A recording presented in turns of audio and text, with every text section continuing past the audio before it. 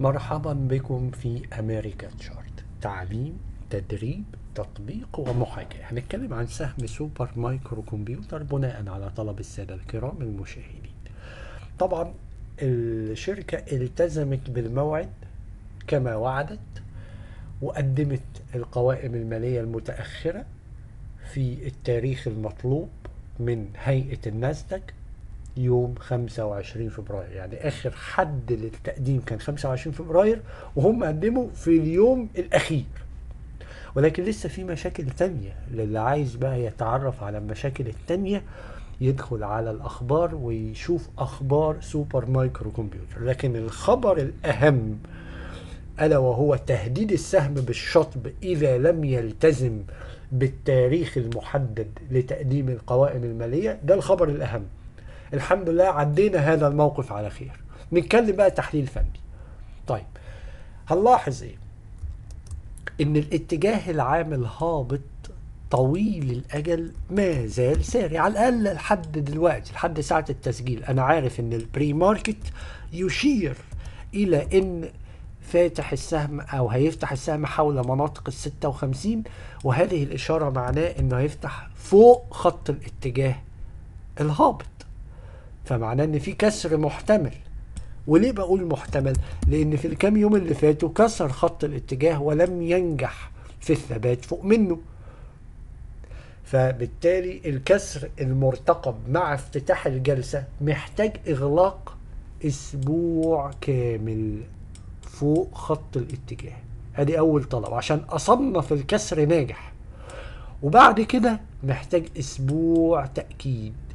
علشان أبدأ أبني خطة بناء على هذا التغير الهيكلي في السهم اللي ممكن يحصل إذا ما تمكن من القضاء على خط الاتجاه الهابط والخروج من القناة السعرية الهابطة طويلة الأجل. ساعتها ساعتها تختلف الرؤية من سلبية طويلة الأجل إلى يا إما حيادية neutral أو إيجابية حسب الاتجاه المنتظر سواء صاعد أو عارضي طيب تعالوا نتكلم في الاحتمالات. عندنا كم احتمال يتحرك فيه السهم؟ الاحتمال الأقرب بحكم ال pre-market اللي إحنا شايفينه إن السهم يتجاوز خط الاتجاه الهابط وينحدر فوق منه قليلا يعني ينزل برضه ولكن من الجهة العكسية. طب ليه؟ لأن السوق ضعيف. لأن S&P 500 Index والناسداك المؤشرين على ضعف. ناهيك عن راسل ألفين أيضا ضعيف. فالسوق في المجمل فيه حركة تصحيحية قصيرة الأجل مبدئية. اتكلمنا عنها طبعا في عطلة الأسبوع لما بنراجع المؤشرات في آخر كل أسبوع. فمن الصعب إن السهم يكتسب زخم قوي وينطلق للأعلى عكس التيار.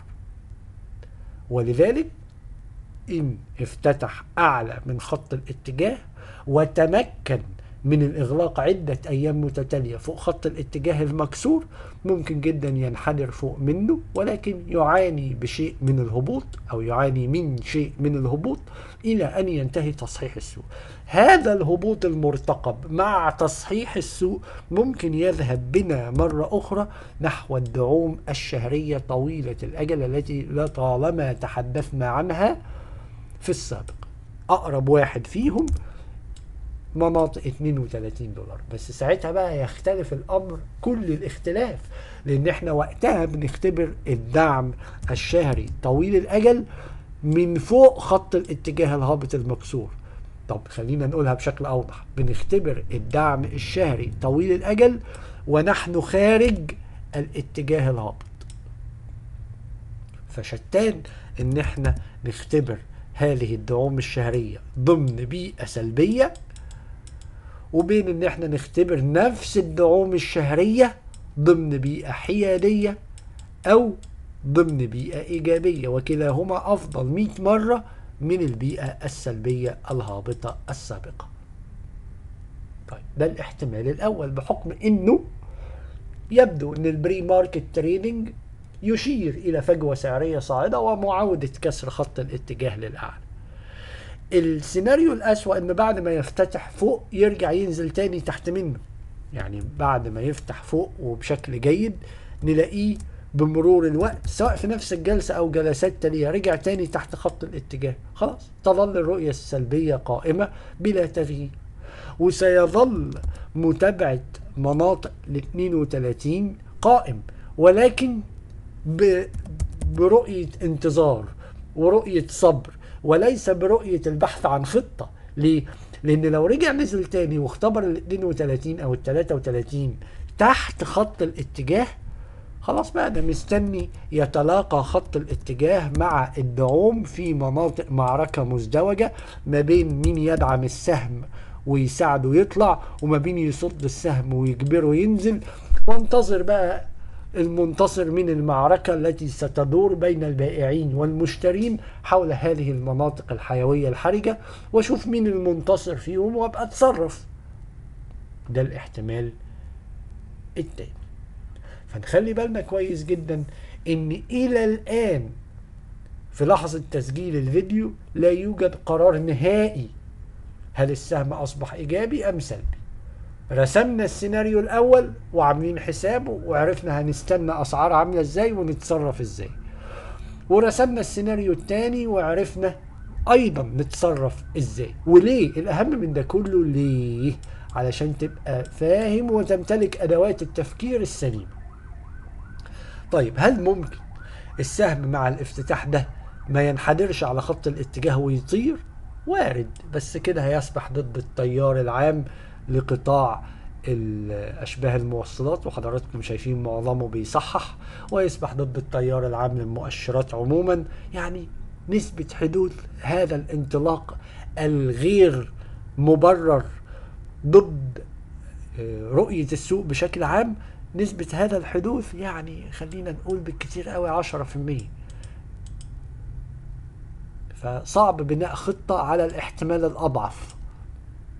وخصوصا لو كانت خطة دخول افتراضي ودفع كاش افتراضي في تداول ورقي هتبقى يعني مش في محلها إن أبني المتاجرة على الاحتمال الأضعف وليس الأكبر. طب هنا الاحتمال الأضعف بيقول إنه طلوعه وممكن يبقى فيه كاش الافتراضي لكن الاحتمال الأكبر هو التصحيح فوق خط الاتجاه يبقى هنا wait يبقى الخطة هنا. wait انتظار. طب انتظر إيه؟ الرقم اللي قلنا عليه 32 وخلي بالك الانتظار ل 32 مش معناه إنه يجب أن يرتد حتما من هناك.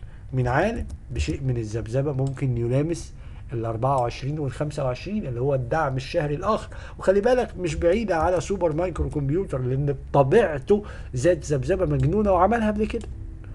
وعملها قبل كده. يعني سهل قوي يروح في العشرة دولار دول. العشرة دولار دول 30% من قيمة السهم وقتها لكن بيعملها ويروح ما بين الدعم والمقاومة وأبعد قليلا كمان. فبيعملها وفي أيام معدودة. فمش معنى إنه يلامس 32 يجب حتما أن يرتد من أعلى منها أو من عندها بالضبط. وارد جدا. نرى ذبذبة عنيفة كالسابق. وليس بالضرورة بنفس العنف لكن يعني متقاربة فدي حزمة دعم تبدأ من 32 ولكن تمتد حتى 24 و 23 كمان. القصد من الكلام إن أمور SMCI بدأت تتحسن ولكن هذا التحسن مش معناه إن إحنا نجري نطارد السهم ورا أي فجوة يعملها بحجة إن مشاكله انتهت. في لسه مشاكل أخرى. خش اقرأ الأخبار. ليس بالضرورة بنفس العنف السابق ولا القلق السابق ولا الحرج السابق ولكن ما زال في مشاكل. مشاكل مراقبة داخلية ومشاكل حسابية ومشاكل تأخير في الحسابات. في لسه مشاكل لكن مش بعنف المشكلة السابقة والاصطدام مع هيئة النسل. أدي أول حاجة يعني المشاكل لا زالت قائمة. تاني حاجة السوق نفسه والقطاع في حالة لا تسمح بإن إحنا نآمن لمطاردة سهم يسبح ضد التيار إلا في حالة واحدة بس إن يكون أصلا معاك مراكز افتراضية مفتوحة. ساعتها هنلعب على تحريك صمام الأمان لأعلى مع حركة السهم. دي الشفاعة الوحيدة إن يكون معاك مراكز افتراضية قديمة مفتوحة. إنما تغامر في جديد ولسه الوضع ضبابي ومش عارفين هيحترم خط الاتجاه من الجهة العكسية ولا لأ. مش عارفين افتتاح الجلسة ده سيسفر عن كسر حقيقي أم لا فين أيام التأكيد؟ وفين أسابيع التأكيد بحكم إن ده خط طويل الأجل؟ لسه بدري قوي على تبني رؤية إيجابية صريحة في سهم سوبر مايكرو كمبيوتر. ما يمكن تنتهي برؤية عرضية. يا ريت يا ريت. يعني يعني لو لم يسفر عن كسر هذا الخط اتجاه صاعد أتمنى يسفر عنه تحرك عرضي يساعد على مضاربات افتراضية ما بين الدعوم الشهرية والمقاومات الأسبوعية. يا ريت.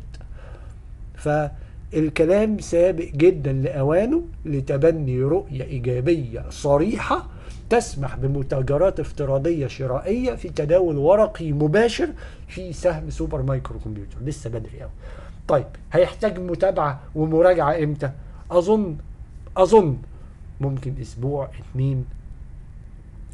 البشرى الوحيدة في رأيي أنا اللي تقول إن السهم ده هيعمل شيء طيب إنه يحافظ على دعم واكتب الرقم ده عندك ممكن ينفعك.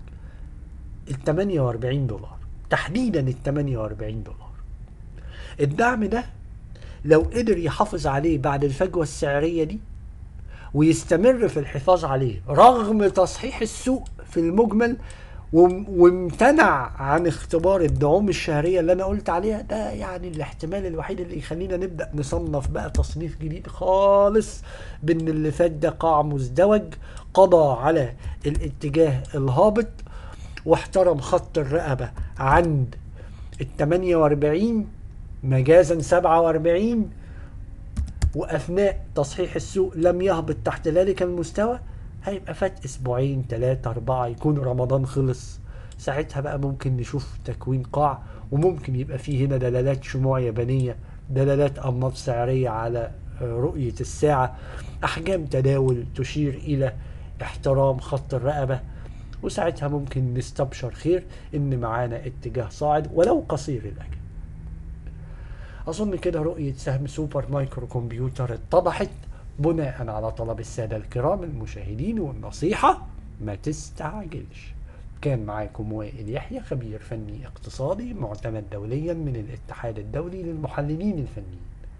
بالتوفيق إن شاء الله.